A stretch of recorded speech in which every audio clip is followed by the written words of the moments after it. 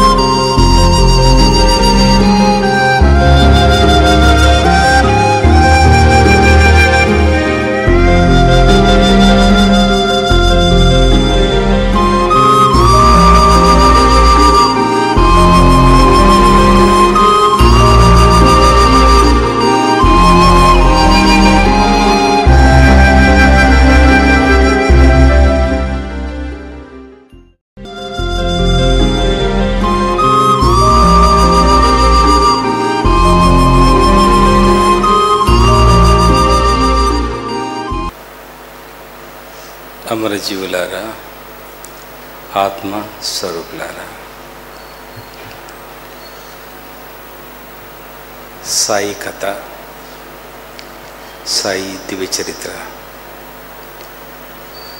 మంగళవారం సాయిని పూజిస్తే ఏమొస్తుంది?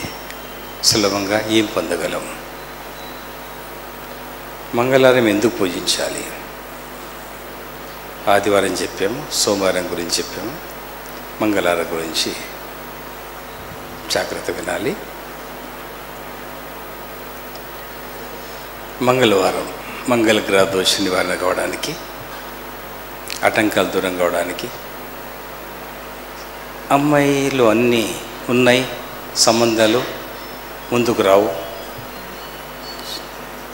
ఆటంకాలు చిక్కులు చికాకులు వస్తుంటాయి. ఇంట్లో ఆటంకాలు సంబంధాలు వచ్చి దూరం అయిపోతాయి. తగిన వరుడు దొరకడు. రావుకేతు గ్రహ వల్ల కొన్ని చిక్కులు వస్తాయి దాన్ని సులభంగా ఎదుర్కోవడానికి సాయి అష్టోత్తర వ్రతం.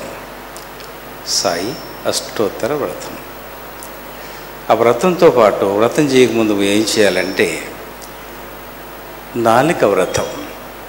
కనీసం ఒక వారం మంగళవారం నుంచి మంగళవారం వరకు నాలుక ఎటు కదలకుండా దాన్ని బంధించాలి. బంధించి సాయి అష్టోత్తర వ్రతం. సాయి నామావళి. అది చక్కగా ఉచ్చారణ చేయాలి. చేసిన తర్వాత రావుకీత పూజ చేసుకోవాలి. సాయి పూజ చేసి నైవేద్యం సమర్పించి రావుకీత పూజ చేయాలి. నైవేద్యంలో ఏం చేయాలి? పాలన్నం లేక పెరుగు అన్నం కానీ రొట్టెలు గోంగూర కానీ ఏది మీకు వీలైతే అది అర్పించి ముగ్గురు బీదవాళ్ళకి అన్నం పెట్టాలి. అలా వీలు కాకపోతే మూడు వందల జీవులకు అన్నం పెట్టాలి. ముగ్గురు బీదవాళ్ళకంటే ముప్పై రూపాయలు కావచ్చు అరవై రూపాయలు కావచ్చు. మూడు వందల జీవులకి ఒక్క రూపాయి చక్కెరలో కూడా పూర్తి అయిపోతుంది. కుక్కల కంటే మళ్ళీ కొంచెం రేటు పెరిగిపోతుంది. మీకు ఎలా అనుకూలం ఉంటే అలా చేయాలి. సాయి అష్టోత్తర వ్రతం రావుకీదు ప్రతిరూపాలు. సాయి గీతాష్టలు ఉన్నాయి ఇక్కడ కూడా ఉన్నాయి. సాయిబాబా. కథ విలువైంది బలమైంది వింటే చాలు కష్టాలు పోతాయి. ఆయన నాముచ్చారణ చేస్తే చాలు. ధైర్యం వస్తుంది. ఒకసారి నా ఫోటో చూస్తే చాలు. ఆకలి తీరుతుంది. దప్పి తీరుతుంది. ఎక్కడ లేని ఆనందం పెరుగుతుంది. ఆయాసం పెద్దగా ఉంది చిన్నగా అయిపోతుంది. బాబా చాంద్ బాయ్ ద్వారా సిడి చేరారు. సిడిలో అందరూ పెళ్ళి వాళ్ళు వెళ్ళిపోయారు. సిడి నుంచి పెళ్ళి వాళ్ళందరూ తిరిగి వెళ్ళిపోయారు. సాయి పెళ్ళికి వచ్చాడు షిరిడికి చాంద్ బాయ్ వచ్చాడు. అందరు వెళ్ళిపోయారు. చక్కగా పెళ్ళి జరిగింది. సాయిబాబా కూడా అక్షంతలు వేశాడు. ఆయన ఎంత అదృష్టవంతుడు అందరు వెళ్ళిపోయారు. మహల్సాపతి కొంతమంది బలమైన భక్తులు సాయిని బతిమలాడారు. మీరు మాత్రం వెళ్ళడానికి వీలు లేదు చిన్న బాలుడుగా ఉన్నప్పుడు వచ్చారు. ఎలా మాయమయ్యారో మేము ఎంత చూసినా దొరకలేదు. ఇప్పుడు మాత్రం మిమ్మల్ని పోనీయము. అధికారం ఉన్నట్టుగా. మాల్సాపతి బ్రాహ్మణుడు పుజారి గుడి పుజారి న్యాయమైన వాడు ధర్మమైన వాడు చాలా చక్కని వాడు ఆయన మాట కాదనక ఉండిపోయాడు ఫకీరు శ్రీడిలో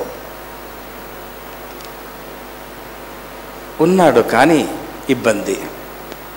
మందిరం దగ్గరికి రాకూడదు మొహమ్మదీయుడు. స్వార్థపరులు నెట్టివేశారు. సరే మస్జిద్ దగ్గరికి వెళ్తే హిందూ లోపలికి రాకూడదు. అప్పుడు తలదాసుకునేది చెట్టు కింద. వర్షాకాలం ఎండాకాలం భిక్షగాడు సాయి ఫకీరు. ఆ కాలంలో ఫకీర్. తెలియదు అలా గడిచింది కొద్ది రోజులు. అప్పుడు సాయి దగ్గరికి జనం రావడం మొదలుపెట్టారు. రకరకాల వైద్యం ఏదో ఒకటి ఇచ్చి పంపించేవాడు. వాకులతో బాగు చేసేవాడు. నాకు ఈ జబ్బు ఉంది బాబా నీకు లేదు పో. నాకు ఈ తలనొప్పి ఉంది ఏం పెట్టుకోవాలి? ఒక ఆకుపసరు పెట్టుకో. అలా బాగైపోయారు. అప్పుడు ఆయన పేరు పెరుగుతుంది.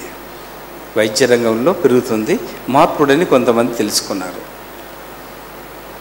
హిందువులు మొహమ్మదీయులు మొహమ్మదీయులు వస్తే హరి అనడం హిందువులు వస్తే అల్లా అనేవాడు. ఇక్కడ చిక్కులు వచ్చాయి ఏ మతం వాడు కూడా తృప్తి లేడు. రెండు దిక్కుల బాబా చక్కని ఆట ఆడుతున్నాడు మంచి లీల. ఇద్దరిని కలపడానికి. అలా కలపడానికి ఆట ఆడుతుంటే వాళ్ళకి అర్థమైతే లేదు. అజ్ఞానులు అర్థమైతే లేదు. అప్పుడు ఈయన హిందువా ముసల్మానా? ఎవరికి అంత దొరకలేదు. మస్జిద్లో అప్పటి వరకు లేడు. మొహమ్మదీలు ఏమనుకున్నారు? ఆయన వేషం ప్రకారంగా పచ్చటి ఆకుపచ్చటి షర్ట్ వేసుకునేవాడు పెద్ద జుప్పాలు చిన్న వయసు. అప్పుడే చిన్న విషం కట్టు వస్తుంది. సన్న విషం. ఆ వెన్ని ఆకారం అంతా చూస్తే మొమ్మదీడు అనుకున్నాడు హిందువులు హిందువులు అనుకుంటున్నారు ఇంకో రకంగా. ఫకీర్. అలా వాళ్ళ లోపల వాదన హృదయాల్లో వాదన పోట్లాట. హృదయాల్లో బయటికి మాట్లాడేది మాట్లాడతా కానీ వాళ్ళ హృదయాల్లో ఒక పోట్లాటలాగా మొదలైపోయింది. మొహమ్మదీలు ధైర్యం చేసి ఎవరైనా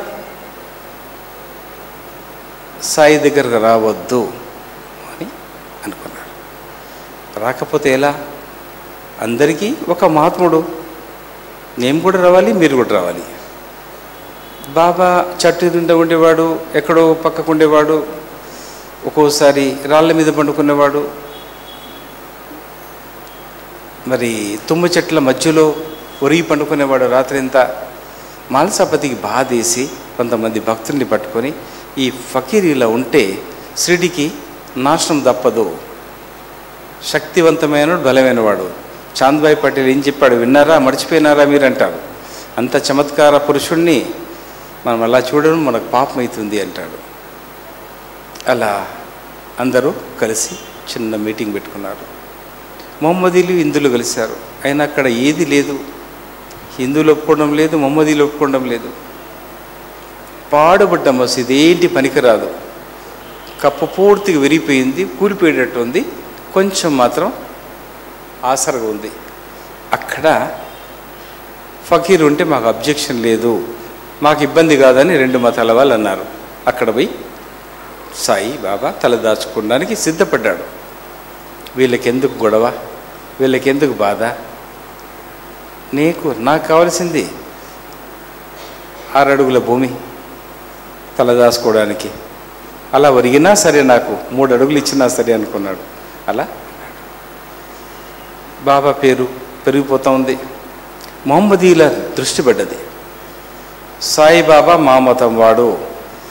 ఎవరైనా హిందువులు కుంకుమ పసుపు పూలు పట్టుకొని వస్తే వారికి తప్పదు.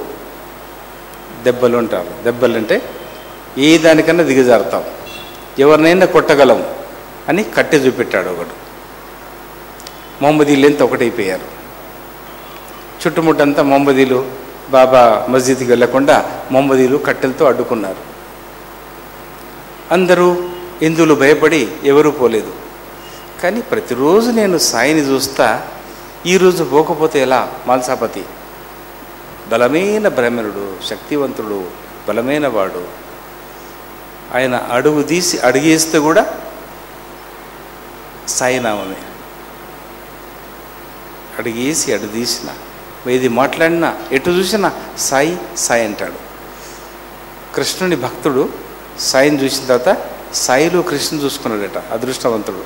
రాముని చూసుకున్నాడంట ఆంజనేయుని చూసుకున్నాడట కదిలిపోయేవాడట. బాబా అలా పండుకొని లేస్తే ఆంజనేయులాగా ఒక పారి ఒక పారి కింద కూర్చొని లేస్తే రాముడిలాగా చిన్న బాలకృష్ణలాగా పిల్లన్న గురించి ఊహించుకుంటా చూశాడు అయితే దేవుడు నా గురించి వచ్చాడనుకున్నాడట. కానీ మూర్ఖులు ఎవరు వినరు కదా? అని బాధపడేవాడు. మొహమ్మదీయులు కట్టెలు పెట్టుకుని ఉన్నారు. మాల్సాపతి కుంకుమ పసుపు తీసుకొని పల్లెం పెట్టుకొని మెట్లు ఎక్కుతున్నాడు కొన్ని మెట్లు ఉన్నాయి అక్కడ. ఆ కాళ్ళ మెట్లు కొన్ని మస్జిద్ ఎక్కుతు ఎక్కడానికి పోతున్నారు. మాల్సాపతి మా మాట విను నువ్వు చాలా మంచివాడవు. అని తిడుతున్నారు గట్టిగా. ఏమైనా సరే మా ప్రాణం తీస్తేనేమో తీయండి కానీ ఒక్క పారి నేను అవతార పురుషుని చూడాలి. అవతారం లేదు ఏం లేదు పిచ్చివాడవా ఒక ఫకీర్ వారిని పెట్టుకొని అవతారం అంటే ఏంటి? ఏదైనా మీరు అనండి ఒక్క పారి దర్శనం చేసుకుంటా. పోనివ్వరు కట్టెలు పెద్దయి అడ్డం పెట్టారు. అప్పుడు మాల్సాపది కొడితే కొట్టండి చంపండి. నా మాట వినండి. ఒక్కసారి అలా పోయి వస్తాను నేను. ఆయన మొంటి బ్రాహ్మణుడు మాల్సాపతి నీ పల్లె మడ బడి అంటారు. నేను బడి అని అంటాడు. నా స్వామికి తీసుకెళ్ళాలి. నైవేద్యం తీసుకెళ్ళాలి. పూలు తీసుకెళ్ళాలి. కుంకుమ పసు పెట్టాలి. వినడు మహామొండి మాలసాపతి గట్టివాడు. ఏమిట్ల మొండి? భగవద్భక్తిలో మొండివాడు పట్టుదలవాడు. ముందు కాలు వేశాడు. ముందు కాలు వేయగానే ఒకడు కొట్టాడు నడుము మీద. ఇంకోడు కొట్టాడు కాలు మీద రెండో రెండో అడుగు వేస్తే. మూడో అడుగు వేస్తగానే వాళ్ళ కోపం వచ్చేసింది. మేము చెప్పిన మాట వెంటనే మీద తలకాయ మీద కొట్టారు అడుగు లేస్తూ ఉన్నాడు. ఎంత పెద్ద కట్టెతో కొట్టినప్పటికీ మాల్సపతి కదలడం లేదు. వాళ్ళకి ఆశ్చర్యం కూడా వేస్తుంది. ఎలా కొడుతున్నారు? కింద పడ్డానికి ఎలా కొడుతున్నారు? అడ్డం కూడా కొడుతున్నారు. కింద పడ్డం లేదు ఏంటి అని ఆశ్చర్యం వేస్తుంది. అప్పుడు బలంగా నెత్తి మీద కొట్టారు. కొట్టగానే సాయి అబ్బా అన్నాడు మస్జిద్లో నుంచి. అబ్బా అనగానే కొంచెం రక్తం చితుకుతుంది. ఎక్కడెక్కడైతే ఈపులో కొట్టారో కాళ్ళ మీద కొట్టారో బాబాకి మంట ఆయాసం. అబ్బా అనగానే హిందూ ముస్లిం ఇద్దరు కట్టెలు పడవేసి సాయి ఎందుకు అబ్బా అన్నాడు అని అందరూ పరిగెత్తారు. పరిగెత్తినాక ఏంట్రా మురుకులారా మీరు ఒక తల్లి బిడ్డలు మీ తల్లి భూమి ఆకాశం తండ్రి నీ సూర్యుడు వేరు వారి సూర్యుడు వేరా? మీ గాలి వేరు వాళ్ళ గాలి వేరా? ఏది కాదే? అందరి సూర్యుడు ఒకడే అందరి చంద్రుడు ఒకడే అందరిలో ప్రవహించేది రక్తం ఒకటే పిలిచే గాలి ఒకటే దైవం కూడా ఒకటే అని అంటాడు. ఇదో చూడు అని తన కప్ని ఇప్పితే రక్తం చితి చితిపోతుంది ఈపు మీద పెద్ద కట్టెలు. ఎలా కొట్టారో కొట్టారు. ఈపుల నుంచి రక్తం చెప్తుంది ఇక్కడ నుంచి రక్తం కారుతుంది. అప్పుడు అందరు కలిసి ఏడ్చారు. ఏడుస్తూ బాబా దగ్గరికి వెళ్ళి అక్కడ శాంతమైపోయారు. సిడీశ్వరుడు అక్కడ నివాసం ఏర్పాటు చేసుకున్నాడు. మళ్ళీ మసీదులో శాంతంగా చక్కగా రెండు మతాల వాళ్ళు పూజించడం మొదలుపెట్టారు. హిందూ ముస్లిం ఒకటైపోయారు. చక్కగా పూజలు చేయడం వాళ్ళు వీళ్ళు ఉరుసు అనేది ఒకటి చేయడం ఈ ప్రకారంగా కొన్ని దినాలు చక్కగా కాలం గడుస్తుంది. బాబా ఎలా కూర్చునేవాడు? మసీదులో ఫోటో చూశారు. ఎప్పుడు కాలు మీద కాలేసి చింతలో కూర్చునేవాడు. ఆలోచన బ్రిటిష్ వాళ్ళ ఆలోచన ఏమవుతుందో ఎంత రక్తపాతం అవుతుందో ఆలోచన. కలి ప్రభావ ప్రభావం లోబడికి దూరింది. పంచభూతాలు నార్మల్ లేవు. అగ్ని వాయువు పృథివీ ఇవన్నీ చక్కగా నడవడం లేదు. అప్పుడే తప్పుతున్నాయి. ఇప్పుడు ఇంకా తప్పియాయి పంచభూతాలు ఏమవుతుంది వర్షం సమయానికి లేదు చలి సరిగ్గా లేదు అన్ని రకాలుగా ఇబ్బందులు ఉన్నాయి. అప్పుడు మొదలైంది దాన్ని అణచడానికి కులమతాలను అణచడానికి అధర్మాన్ని అణచడానికి భగవంతుడు ఒక్కడుని చెప్పడానికి బ్రిటిష్ సామ్రాజ్యాన్ని చల్లపరచడానికి మనం ఆ చిక్కుల నుంచి విడిపించి విడిపించడానికి విడిపించి మనం రక్షించడానికి అవతరించాడు శ్రీలో సద్గురు సాయిబాబా. ఆ బాబా అక్కడ ఉన్నాడు ఇక్కడ లేడన్నట్టు కాదు మీ అందరి హృదయాల్లో మీరు పిలిస్తే పలుకుతాడు మీ హృదయం నుంచి బయటికి వెళ్ళి మీతో మాట్లాడతాడు. అది ఎలా సాధ్యమవుతుంది